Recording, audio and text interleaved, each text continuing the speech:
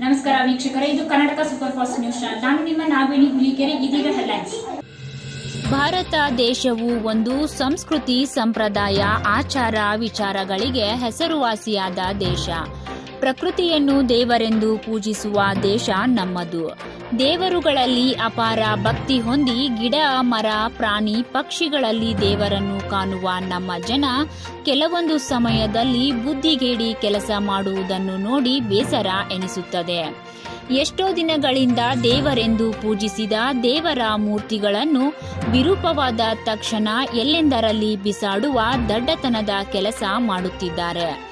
ಹೌದು ವೀಕ್ಷಕರೇ, ಇವತ್ತಿನ ದಿನ ಎಂಕೆ ಹುಬ್ಬಳ್ಳಿಯ ಮಲಪ್ರಭಾ ನದಿಯಲ್ಲಿ ಆಂಜನೇಯನ ಕಲ್ಲಿನ ಮೂರ್ತಿಯು ಹರಿದು ಬರುವ ದೃಶ್ಯವನ್ನು ಕಂಡ ಚಕ್ರವರ್ತಿ ಸುಲಿಬೆಲೆ ಅಣ್ಣನವರ ಸಂಘಟನೆಯಾದ ಯುವ ಬ್ರಿಗೇಡ್ನ ಯುವಕರು ಅದನ್ನು ನೀರಿನಿಂದ ಎತ್ತುವ ಒಳ್ಳೆಯ ಕೆಲಸವನ್ನು ಮಾಡಿ ಶಾಸ್ತ್ರಬದ್ಧವಾಗಿ ಅದಕ್ಕೆ ಮುಕ್ತಿ ನೀಡುವ ಕಾರ್ಯಕ್ಕೆ ಮುಂದಾಗಿದ್ದಾರೆ.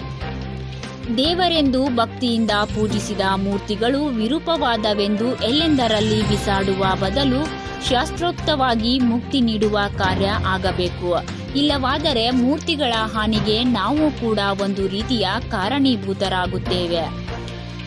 ಮೂರ್ತಿಯನ್ನು ನೀರಿನಿಂದ ಎತ್ತಿ ಮುಕ್ತಿ ನೀಡುವ ಕೆಲಸ ಮಾಡಿರುವ ಯುವಕರಿಗೆ ನಮ್ಮ ಕಡೆಯಿಂದ ಧನ್ಯವಾದಗಳು. ಈ ಒಂದು ಸಂದರ್ಭದಲ್ಲಿ ಎಂಕೆ ಹುಬ್ಬಳ್ಳಿಯ ಯುವ ಬ್ರಿಗೇಡ್ನ ಎಲ್ಲ ಯುವಕರು ಭಾಗಿಯಾಗಿದ್ದರು. Bureau report, Abhishek Gadath Karnataka super fast news, MK Hubballi.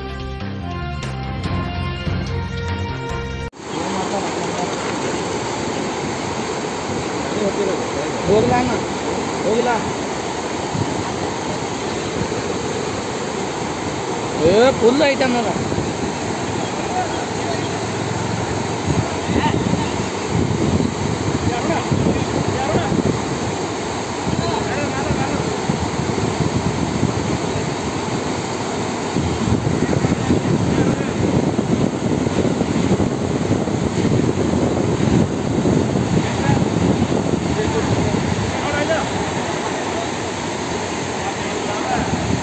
mun hondang mun hondang kan satu lala ye la aaj ye